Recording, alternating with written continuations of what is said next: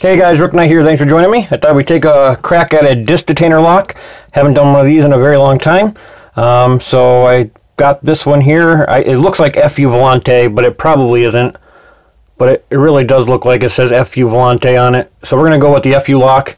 It's got an SUS 309, which is probably the steel. Um, it is Chinese, I'm sure, but it's a very nice quality. I mean, it's just really beautiful, very heavy, very, very nice to look at. Um, just seems like a really well-made one. Um, before we start off, we show it in operation, lock it up. We are locked nice and tight.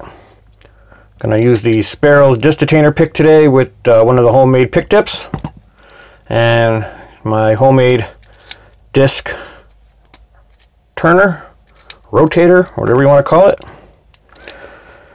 I always like using a little bump ring. It just gives me that, uh, allowing me to keep tension only on the first disc. Even if you have this neck all the way pulled up into the Sparrow's disc detainer, um, uh, it just doesn't work. It, it still will grab a hold of two discs and you don't want that. So line yourself up, put a little tension, sink it in, make sure you can go up and down the column, make sure you're level, and telling you further ado, start testing.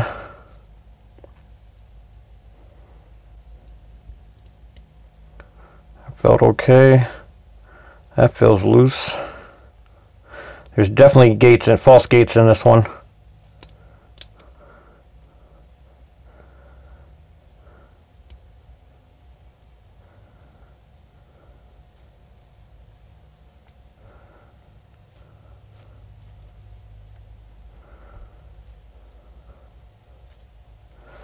trying to line myself up here. Just keep going up and down the column and keep feeling out what feels right. Gonna go back on this one. I don't like the way that feels now. Alright that's a little better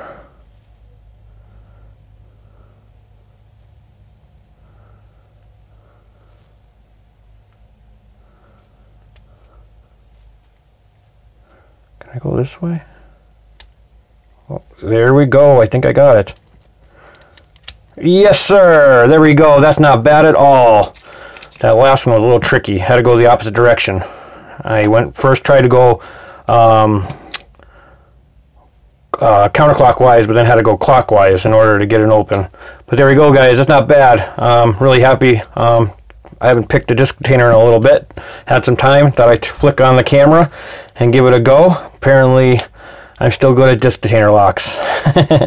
I'm not too shabby on the pins, but I definitely still got a knack for these. Alright, uh, that's all I got for today, guys. I hope everybody's doing well. Catch you on the flip side. Thanks for watching. Bye, guys.